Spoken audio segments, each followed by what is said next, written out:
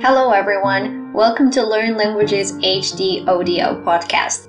We love to have you with us and make sure to learn something new today and expand your horizons for a little bit.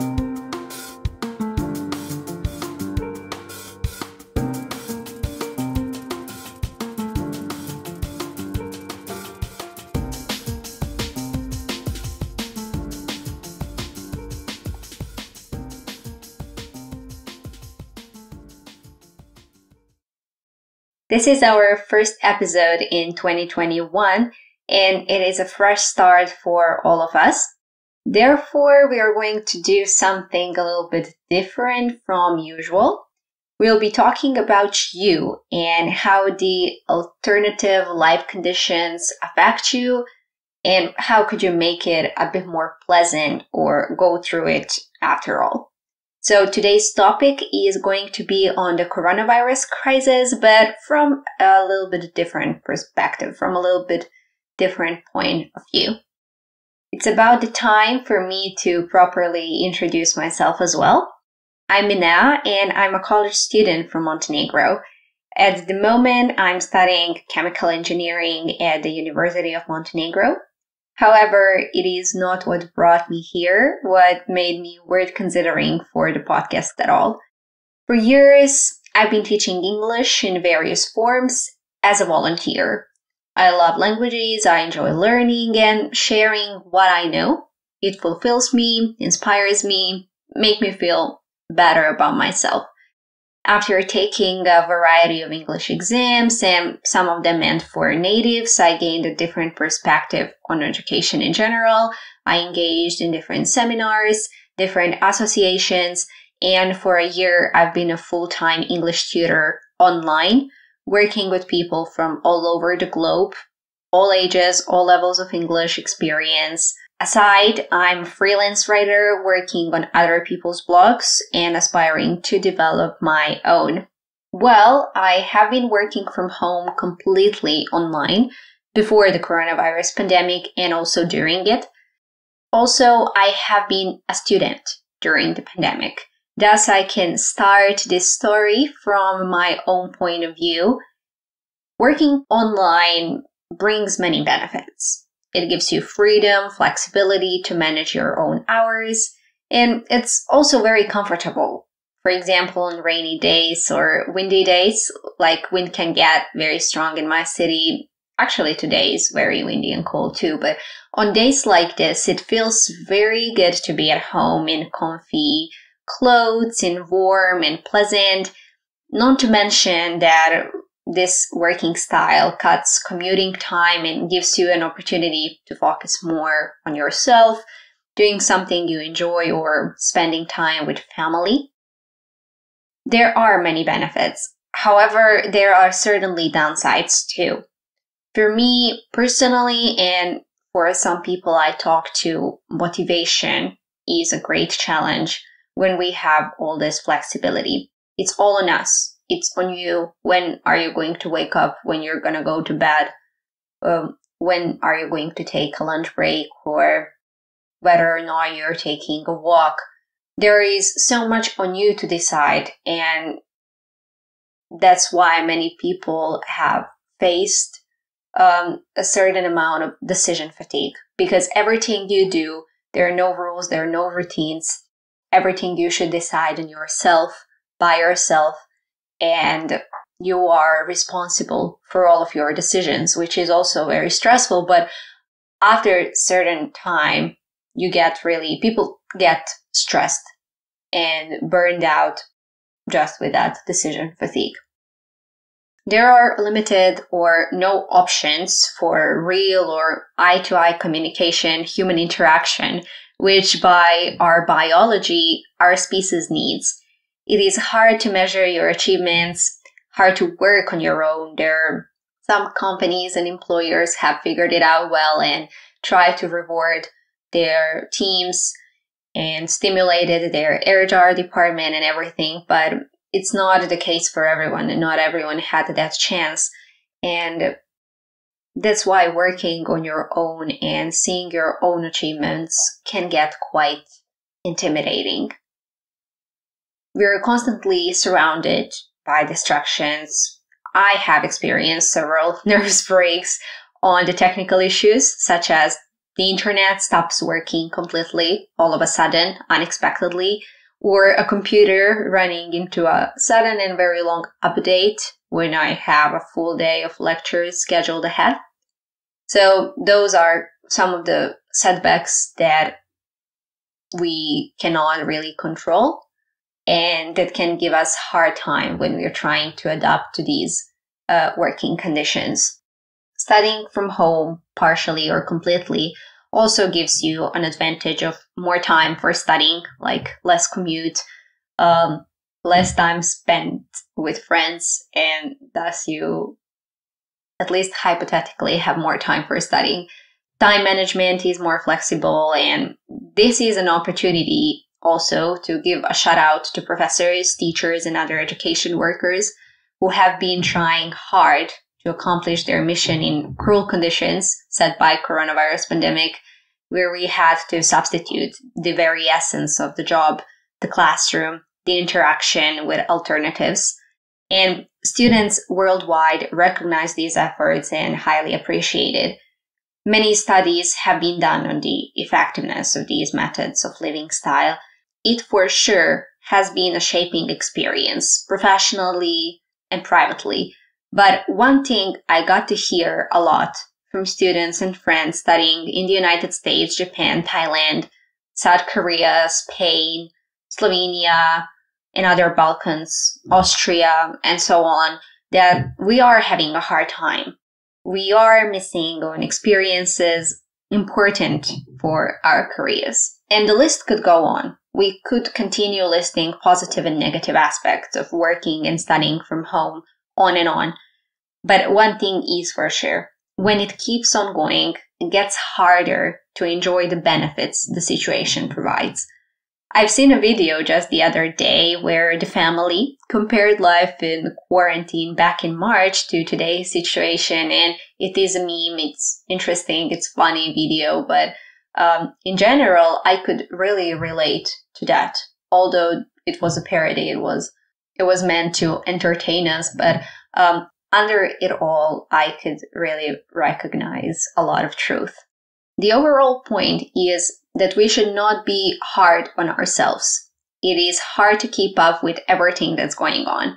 We live in fear and in the conditions that are not so natural. After the lockdowns became so normal, unfortunately, we stopped seeing articles on how to manage these conditions, how to go through the situation, ideas, benefits, advice. On the news, people don't talk about this backbone, about how the overall situation affects our day to day life. And I made this episode to point out that although this becomes normal, it shouldn't be taken like it. It should not be assumed that we got used to it because as we have seen, the more it goes on, the more challenges it brings. So in 2021, keep in touch with your people, listen to each other, help your friend with whatever he deals with. Think about yourself and your own priorities. Think again of your goals, and we as people would go through this whole thing together as the Tiraf research has supported above presented statements, I'm going to present some advice for if you have Zoom fatigue, if you struggle with taking the exams, keeping up with deadlines at work, for if the initial excitement of working from home has worn off for you, or if you just want to make lockdown more pleasant for yourself. I will use the structures should and ought to. These are the most common modal verbs to use for giving advice in English language. It's important to see a slight difference here. When we say you should go see a doctor, you should travel to another city on Friday and see what they have to offer for this issue. We should see each other more often. We have this structure should that is followed by infinitive. So you should see, you should go. There is another phrase, ought to. we use to infinitive, not bare infinitive as we used it with should, but to infinitive. For example, you ought to go, you ought to see. We should not forget this, this slight difference here. These are other ways to give someone a word on a problem is to use indirect questions like, why don't you travel? Why don't you go see someone? Why don't we go to the cinema next week, for example? Or you could use another structure, which is if I were you, I would. So if I were you, I would work more to solve this problem. If I were you, I would see my friends more often. If I was in your place, like if it was my life, this is what I would do. So a good idea to give someone an advice that you really stand behind. And this statement, if I were you, this structure is, is a conditional statement, which sooner or later you're going to cover in depth. But just as you know it as an example, something that you should use and you could use to give someone advice. And when you're talking to someone in English, or if you, as many other people worldwide now, started meeting friends online through different chat groups and different applications, using English as a common language is a challenge. So these are just some ideas that would help you around. So the very first advice I have for you is that you should figure out what moves you you should figure out what feels good for you. What are your passions? What are your goals? Figure out what motivates you, what inspires you, and try to incorporate that into your daily routine. We often forget that going on and living and accomplishing something from time to time requires a bit of introspection. Seeing what you feel comfortable with, thinking about yourself and the way you're dealing with things, the way you live, the way you work, the way you communicate, seeing what you can change or what you can be doing more of.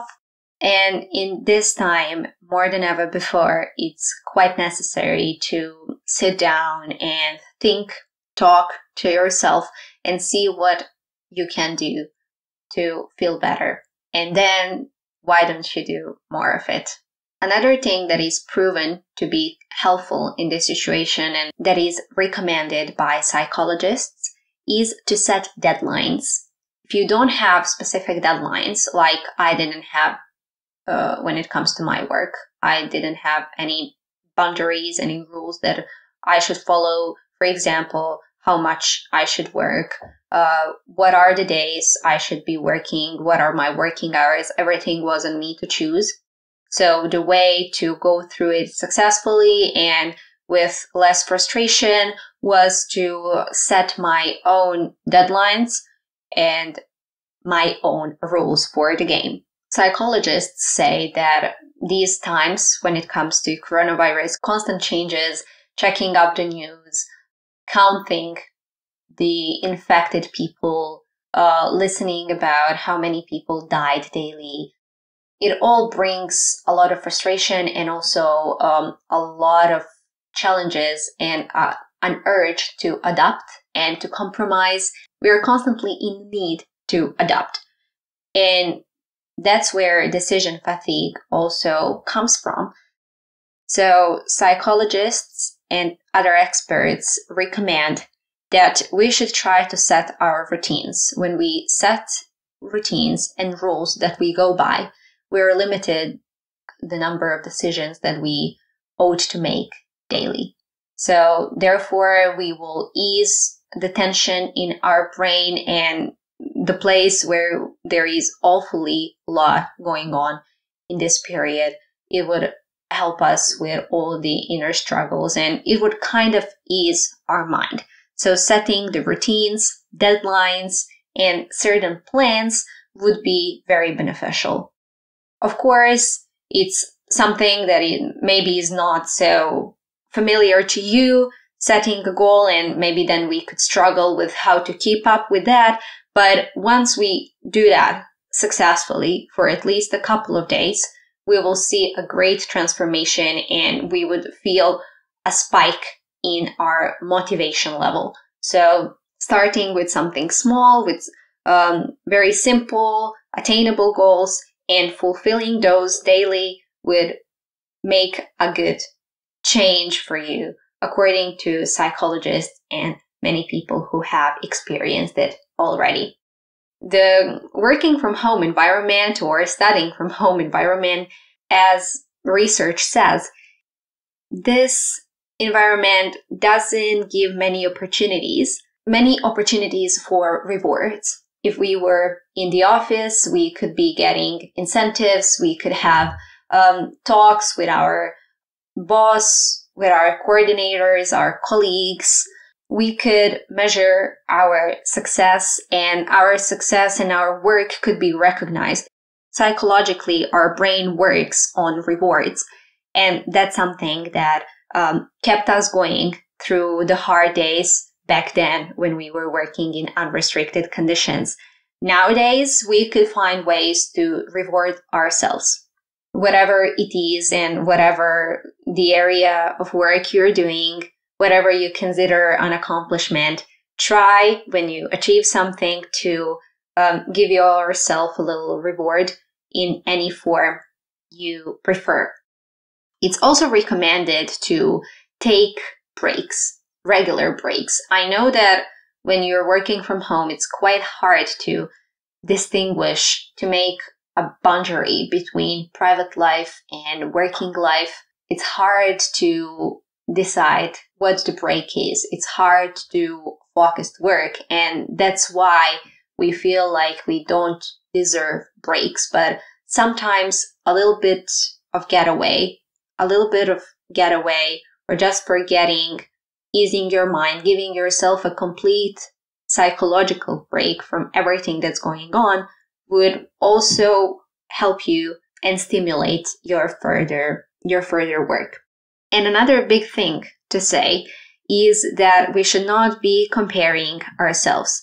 But all of this advice stands for studying and working from home or just dealing with the situation. We have seen via social media how people used lockdown to create, to build the new routines, new habits, to try something new, to start working out, start something, start something major, write a book, whatever. People, some people made the difference, use this time effectively. However, it shouldn't it can't be that way for everyone.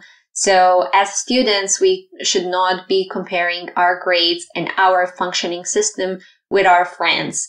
Um, not in a bad way. We could consult our friends. We could see how they do and maybe ask them for advice, trying to change something in our own functioning, but we should not feel inferior to anyone just because we are not keeping the track with everything or if we are not making as much progress as someone next to us, we should not consider that a barrier or not an internal struggle.